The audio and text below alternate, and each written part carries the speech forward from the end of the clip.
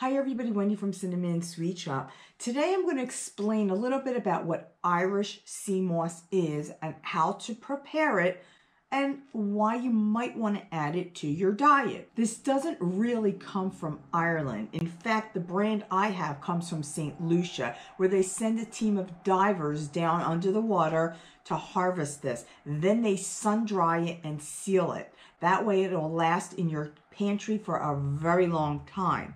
If you take a look close up, it kind of looks disgusting. It looks almost alien-like, and it is kind of gross smelling. It took me a good while before I even invested into trying this because I hate the smell of fish, seaweed, seafood. I don't even eat any of that stuff. But why you would want to use this is because it has um, so many health benefits. And also, you don't want to eat it plain. It tastes horrible plain.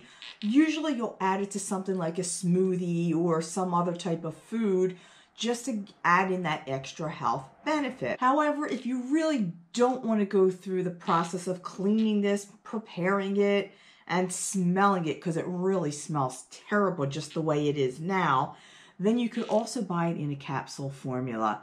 How quick is that? The trick to getting the smell out of it is to thoroughly, thoroughly rinse this. And I'm going to show you how I prepare this in the next clip. Keep in mind when you buy this, it comes directly from the sea and then they seal it, they dry it and seal it. So you will find a lot of remnants in this, such as sand. You might find some fish netting in there as well. And it smells really nasty. But the key to getting rid of all that is to make sure you rinse it really, really well and get your fingers going throughout it just to rub out all of that, those remnants. The more you rinse this, the more you'll get that horrible smell out of this as well. So I'm going to rinse this for a good couple of minutes.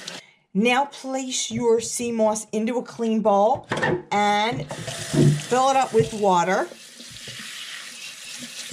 And then place this bowl in the refrigerator and let it sit for several hours. And that way this will expand. You can see how this expanded. Sea moss is extremely porous. Now, I'm going to take some lemon and just add a little bit of lemon juice to the water. Just quickly mix it around a little bit more. The lemon juice will help get out some of the horrible smell. Then just empty this out.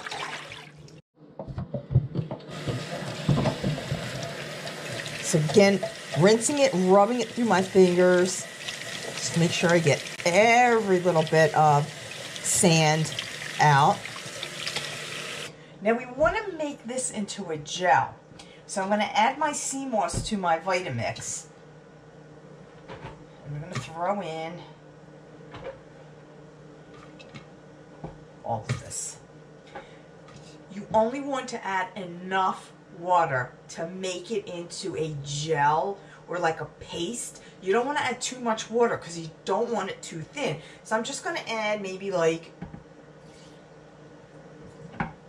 about two tablespoons to start. And this is going to take a little bit of time. I'm going to use my tamper and turn this on. I am going to put this on a low. So you see how this is kind of crumbly? I need a little bit more water. As I said, I want it to come together, but I don't want it to be so runny either. So I'll just add a little bit more.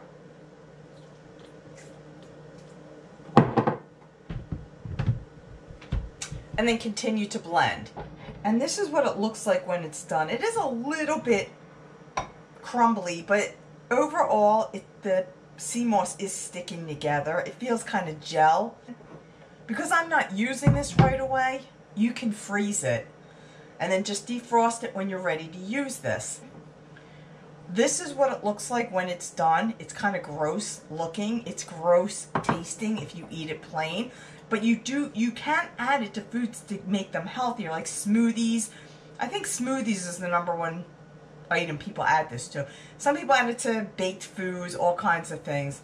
I do have a link on Amazon below in the description box if you want to buy some. I got this for fairly inexpensive. The whole bag was about $11. If it seems high, you believe me, that was cheap compared to some of the other ones. This brand that I bought too is totally organic. It's vegan. It's, it's very, very good brand. So be sure to check out the link below. Subscribe to this YouTube channel. Share this video and thumb it up. And I will see you all next time, hopefully soon using this in a future recipe.